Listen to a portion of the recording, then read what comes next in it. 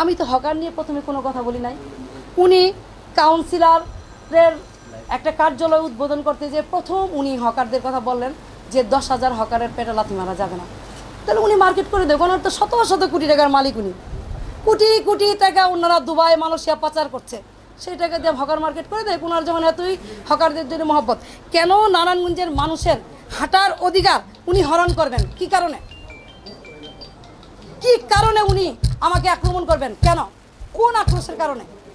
মারতে চায় উনি তৌকিকে হত্যা করেছে আজমির ওসমান, তৌকিকে মেরেছে শামীম ওসমান, এই শহরের আশিককে মেরেছে তারা, এই শহরের চঞ্চলকে মেরেছে তারা, এই শহরের অগণিত খুন করেছে তারা। আজকে আমাকে খুন করতো? করতো।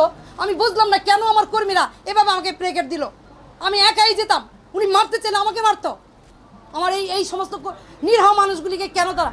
উনি কি জানে না যে নারায়ণগঞ্জের মানুষ ওনাকে একবার বিতাড়িত করেছে একবার না কয়েকবার এই শহর থেকে বিতাড়িত করেছে। উনি কি নানান উনি মনে করেছে যে এই পিস্তল দিয়ে আর প্রশাসনকে ব্যবহার করে আমাকে থামিয়ে রাখবে? দল যখন ক্ষমতায় থাকে না যেই নেতা এই দল শহর ছেড়ে চলে যায় কর্মীদের ছেড়ে চলে যায় উনি আবার কিসের নেতা? আজকে উনি প্রশাসনের সহযোগিতায় সকল প্রশাসনের সহযোগিতায় উনি নিরহ মানুষের উপর আক্রমণ করেছে এই ডিসিএসপিকে প্রত্যাহার করা উচিত। ডিসিএসপিকে প্রত্যাহার করা উচিত।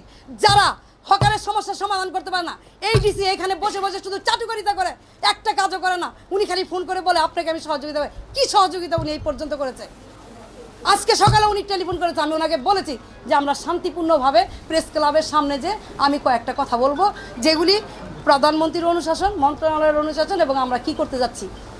গতকাল রাত্রে আমি যখন স্ত্রীকে বললাম, একজন সাংসদের ভাবে অর্ডার দিল যে সমস্ত হকার ফুটপাতে বসবে, আপনি কি করতে চাচ্ছেন? উনি আমাকে বলল, একজন দলীয় এমপির নির্দেশ, আমি কি করব? তা আমি বললাম, আমি কি তাহলে দলের বাইরে কেউ? আপনি কি জনগণকে হাঁটতে দিবেন না রাস্তা দিয়ে? হকার্স মার্কেট তো আমি করে দিয়েছি, প্রয়োজন আরও করে দিব। এই যদি হয় এখানে নারায়ণগঞ্জের এসপির উত্তর, তাহলে কি নারায়ণগঞ্জে থাকার অধিকার ওনার কেন, কিসের জন্য আছে? প্রশাসন থাকা অবস্থায় এই রকম একটি শান্তিপূর্ণ, নিরীহ, নিরস্ত্র মানুষ, আমার তো পিস্তল নিয়ে চলি না। আমার তো ক্যাডার বাহিনী নাই। আমার সাথে তো দশ বারোটা পিস্তা পিস্তল নাই। তাহলে আমার উপরে আক্রমণ কেন করা হলো? আমার লোকজনকে কেন এভাবে উইন্ডেট করা হলো? স্বামী ওসমানের এই জবাব দিতে হবে জনতার আদালতে।